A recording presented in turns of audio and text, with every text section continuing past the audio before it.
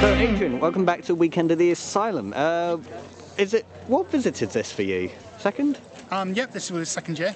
Second year, fantastic. And you are the steampunk heavy. Yes. You haven't got your sandwich though. No, I need my sandwich. Ah. so you uh, you said just a minute ago before we turn on the camera that you made this for under 20 quid. yep, the entire Gatling gun was made for under 20 quid. Under 20 Under quid. 20 quid. What's your secret? Um, beg, borrow, steal. Um, just basically ask people and say, can I have this? You know, put up a sign in your local shop, post office, whatever. People just donate stuff. And you, you can get it. That's fantastic. That's the best way of doing it. And what brings me back to Weekend at the Asylum? look at it. Do I say any more? it's an amazing time. If you are into steampunk, come. Don't even think about it. Just go. Um, it's really worth attending. Dr. Cornelius Quack, welcome to Weekend at the Asylum 2013. Hello.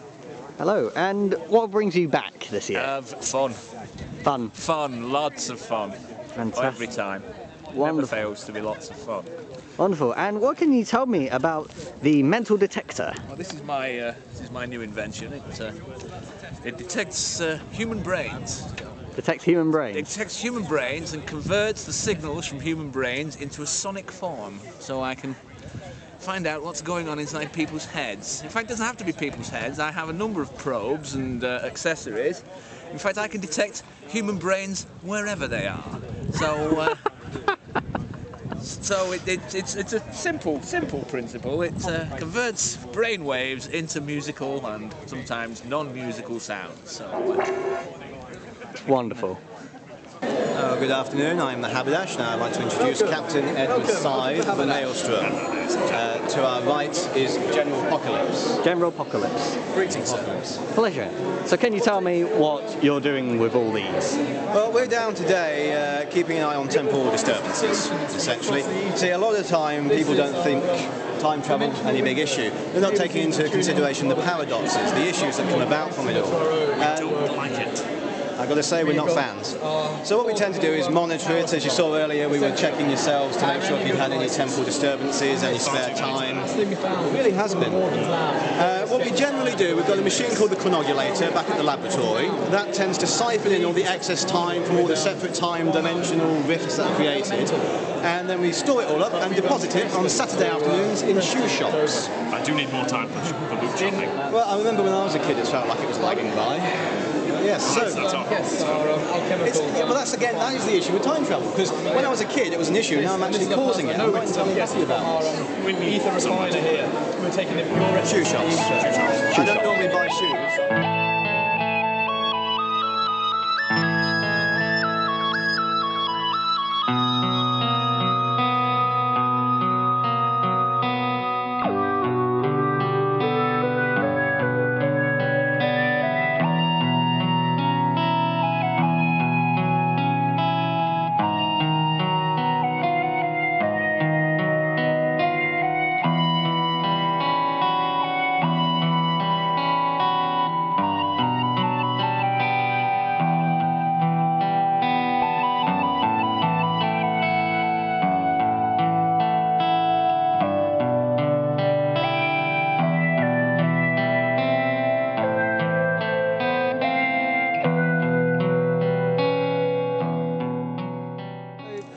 Is this your first asylum?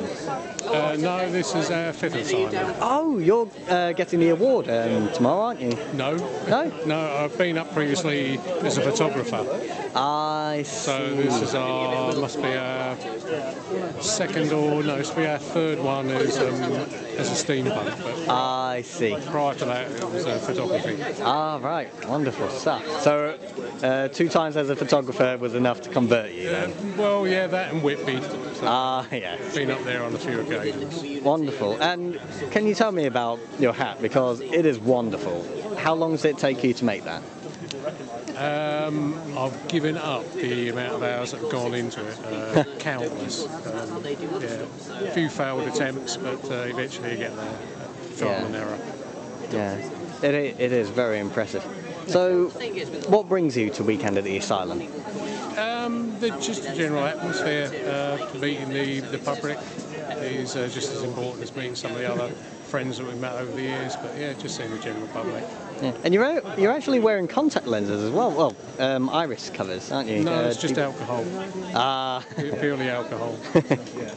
All right. Well, thank you very very much. No problem. Enjoy Okay. the weekend. You too. Yeah. So, um, would you like to tell the internet your names? Uh, I'm Emily Kane. And I'm Daniel Van Vliet. Yeah. Have you got character names? Uh, no, no, I haven't actually. I sort of. I have a pseudonym, Daniel Ruxberg. Aha. What does he do? He is a quiet man who stays in his study all day, analysing dead animals mostly. Hence the uh, bear's head, head on your hat. Fantastic. How long have you two been into steampunk then? Quite a while now. Yes. Oh, I got into it when um, I went to visit Lauren, and that was years ago. I can't remember. Time immemorial then. Not quite, but seven years ago. seven so- something like that. yeah. Seven years. Wow. So what keeps you coming back? Um, well, this is only our second asylum, so uh, we came back because we really enjoyed it last year, and it was just so mentally Monty Python crazy quotes everywhere and all sorts. I always tell people the asylum is basically if Monty Python made a film set in Victorian times, then this would be it.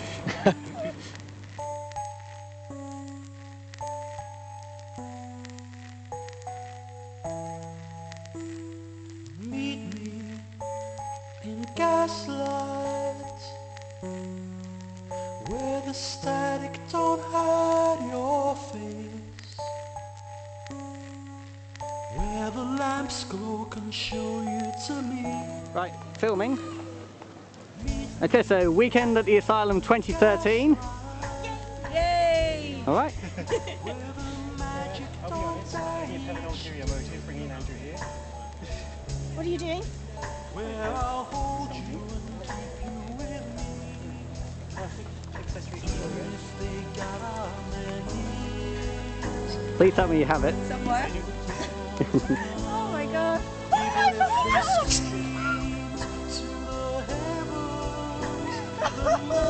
Wonderful.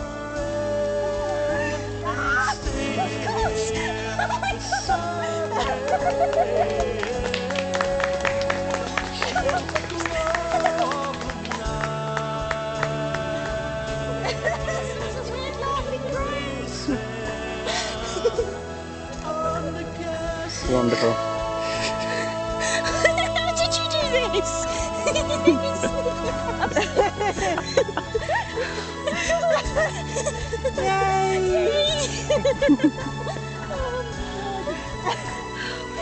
Congratulations. It's all right. You cheeky thing. Did you organise all of this? Captain's log two. Yes. Well, we don't have many numbers to go off. I am seeing many familiar faces. I'm having flashbacks. Welcome back. Thank you. How's the dinosaur hunting go- coming along? Oh, it's uh, it's been very good. Uh, the weather's been quite bad, so uh, the, trying to hunt velociraptors is uh, they sort of like the dry. They don't like the wet too much, so uh, so I didn't bag one of those. But uh, pterodactyls were quite good this year. That's good. yeah. Weekend at the Asylum 2013. Hello, Joe Slatter. It's a pleasure to see you again. How you doing? Okay, well, can we have a look at your brand new apparatus? Ooh, that is fancy stuff, that, isn't it? Lovely. How long is it taking you to make this? Uh, sort of done it in bits and pieces, to be honest. I did the arm first and the, the hand as well. Oh no, I'll get the table in. Uh, the table. Adam and Sam from last year. Welcome back. Adam and Sam this year. Yes. Can you just... Still here, to be honest. Another couple of fantastic costumes. Yes. Not costumes, they're clothes. He lives and dies in this stuff. It's his business. I've seen these not dotted around the place. Uh, well, dotted around on certain people. I was wondering what you could tell me about it. Um, it's a badge produced by uh, Dean Woodman, aka Major Quicksilver, or Major Q. Um, Oh, it's yeah. got the Lincoln imp on it. So basically, the Lincoln Steampunk Society, aka us locals, um, we try and have these around. So if people want to know where things are, or they're looking for places, or just interested in things, you know, we, we kind of have the. This is a badge. If if you see someone with a Lincoln imp or this badge on it, it means they're probably local or local to the area and can kind of say, oh, this hotel's here, or oh, this is where the assembly rooms are. So we're, we're just kind of as an unofficial help, really. Weekend at the Asylum 2013. Please introduce yourself. I'm Lady Elsie. I'm one of the, uh, I suppose, co-organisers and inventor of this mad event. Wonderful. How long have you been into steampunk then?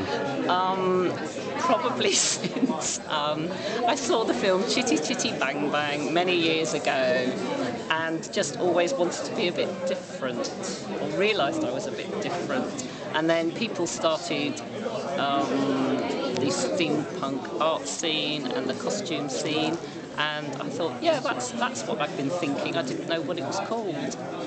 And then you just found the name and it took off. Yeah, found out what it was called and did it. And being one of the co-organisers, where did the idea come from? One very bored, wet January night, Oh. sitting at home in front of a laptop, thinking about doing an event where lots of creative people could get together and see what it led to. And on Brass Goggles, they've been talking about um, that the UK should have a big event. There was various ideas, various people said they were going to organise it, and nobody did. And the conversation went on for a year, round in circles, until Major Tinker and myself came, saw the lawns over the road, and they agreed to hire it to us for a festival. And that was five years ago. Yes, and this is the fifth annual um, Lincoln annual Wicked. event. We had 450 first event, and this year we have sold over 200 2,500 different tickets for the different events. It's wonderful. Virtually every event has sold out, hasn't it? More or less, yes, more or less, which is which is great. Uh, how long have you known the Major? How long have I known them? Probably about 15, 16 years. Only 15, 16 years? Only 15, 16 years, yeah. Ah. All right. Well, wonderful. Is there anything you'd like to say to people who are watching, contemplating coming to the asylum? Come to the asylum. The pictures are fantastic, the people are fantastic, the costumes, the gadgets, but you really have to come and experience it for yourself. That's the only way.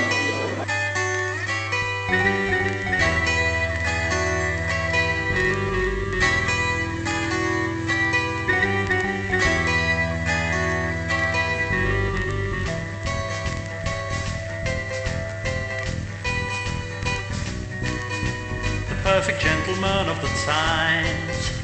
Bowler hat, tie, and tinted glasses. I've heard he's got no eyes under there. I've heard that he can smell you from a hundred paces. They hire him when nothing else works. When peelers haven't found you and no one's blowing. Maybe for a second I thought I was safe.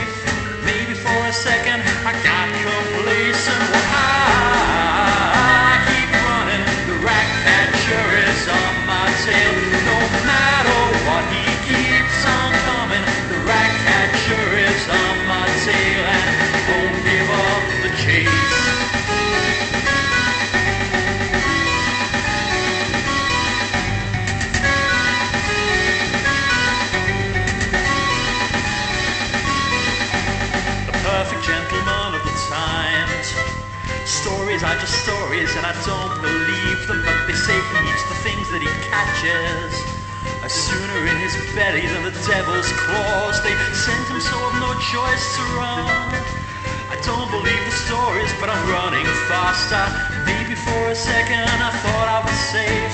Maybe for a second I got complacent. Well, I keep running. The